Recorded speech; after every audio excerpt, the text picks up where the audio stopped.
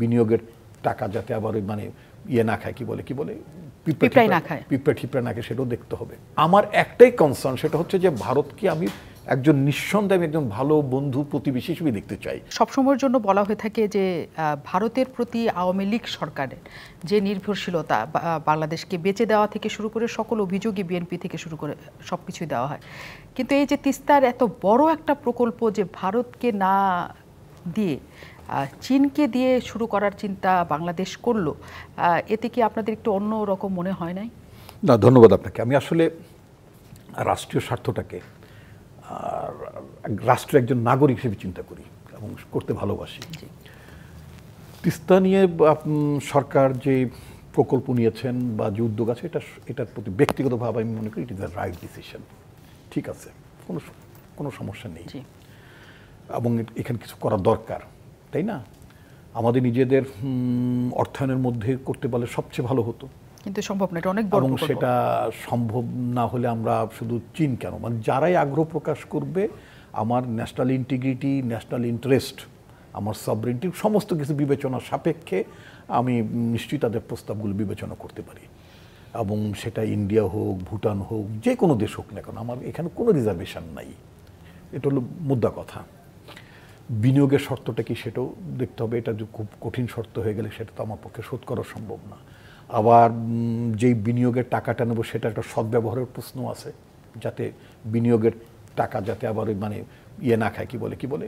পিঁপড়াই না খায়। পিঁপড়ে ঠিপড়ে না খায় সেটাও দেখতে হবে। এক দুই তিন ঢাকায় জমি জিতে নিন একশো পার্সেন্ট ক্যাশব্যাক সহ বিশ কোটি টাকার পুরস্কার।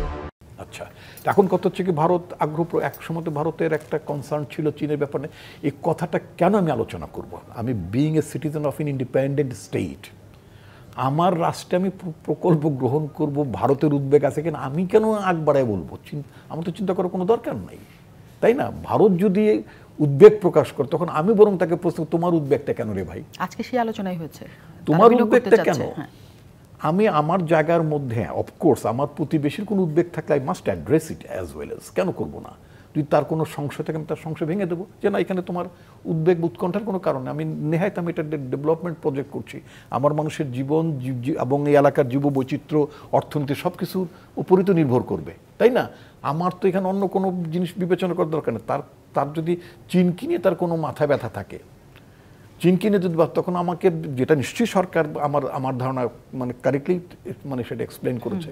এবং আমার যদ্দূর মনে পড়ে বোধহয় মানে তিস্তা প্রকল্পের সরকারও বোধহয় ভারতকে বিনিয়োগ করার আহ্বান জানিয়েছিল।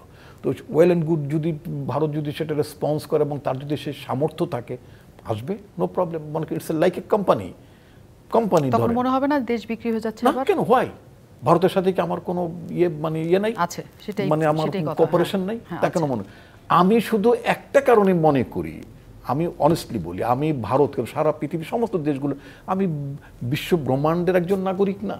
আমি তো মানে আমি তো গ্লোবাল সিটিজেনও হতো আমি কেন মনে করব যে ভারতের সাথে করলে দেশ বিক্রি হয়ে যাবে আমেরিকার সাথে করলে দেশ বিক্রি হবে না ভুটানের সাথে করলে এটা হবে তা তো মনে করে কোন? আমার একটাই কনসার্ন সেটা হচ্ছে যে ভারতকে আমি একজন নিঃসন্দেহে আমি একজন ভালো বন্ধু প্রতিবেশী হিসেবে দেখতে চাই।